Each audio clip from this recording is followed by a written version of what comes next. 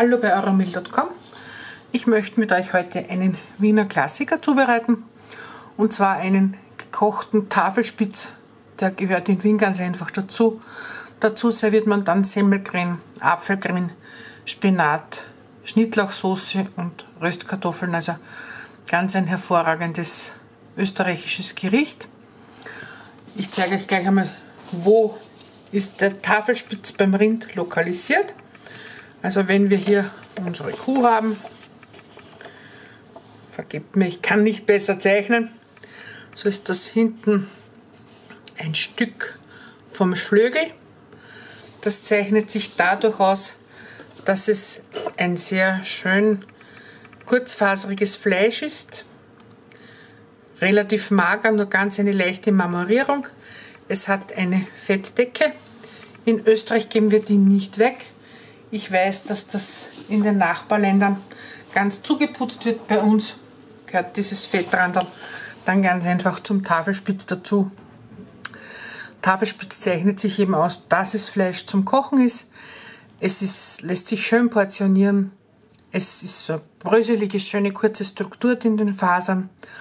Aber es ist relativ trocken. Und daher gibt es bei uns ganz feine Beilagen dazu. Wir kochen unser Fleisch in einem Knochensud, den wir mal vorbereiten.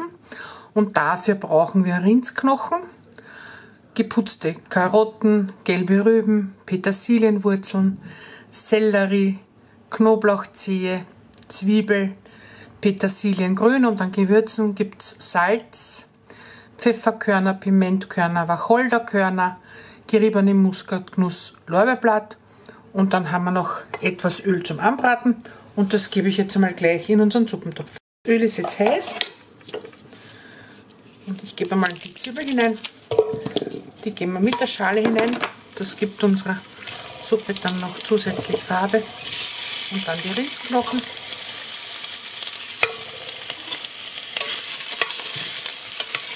Wenn wir einfach kurz rundum anbraten, wird dann eine dunkle, kräftige Rindsuppe.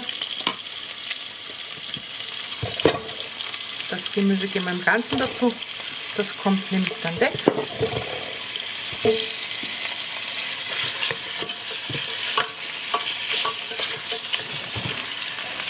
Knoblauchzehen gebe ich noch dazu.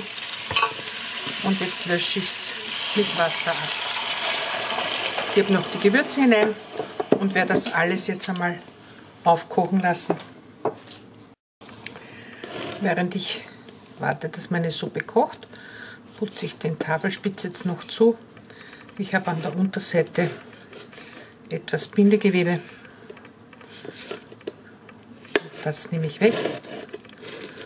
Das würde mich nämlich beim Essen bei der schönen Qualität von Fleisch sehr stören. Einfach schön abziehen. Die Abschnitte könnt ihr dann mit in die Suppe geben. Wir haben sie dann nicht am Fleisch dran.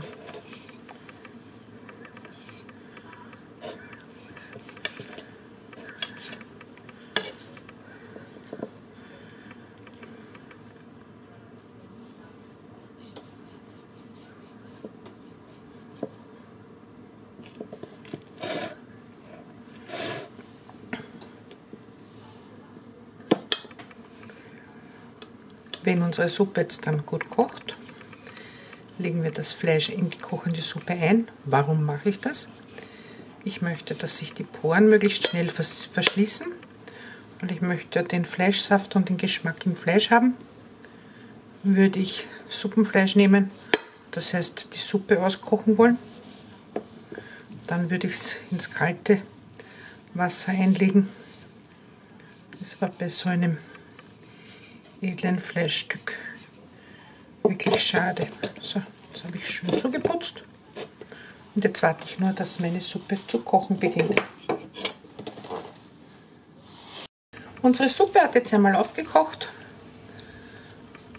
Und wenn ich das Fleisch da einlege, dann sieht sofort, es verändert sich sofort die Farbe.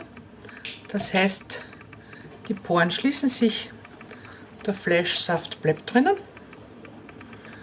Ich lasse jetzt noch einmal aufkochen, dann werde ich die Temperatur reduzieren und werde sie circa zwei Stunden leicht wallend kochen lassen. So lange wird unser Stück Fleisch brauchen, bis es gekocht ist. Der Tafelspitz ist jetzt fertig gekocht. Duftet wirklich himmlisch. Und ich nehme ihn jetzt aus der Suppe heraus und lasse ihn noch kurz entspannen, ehe ich ihn aufschneide. Der Tafelspitz ist jetzt serviert. Dazu gibt es klassisch Semmelgrün, Apfelgrün, Rösti und Spinat. Wenn du einmal nach Wien kommst, dann gönn dir diese herrliche österreichische Spezialität. Freut mich, dass du wieder dabei warst. Das genaue Rezept gibt es für dich wie immer unter www.euromil.com. Ein Like oder ein Abo wäre natürlich auch ganz toll.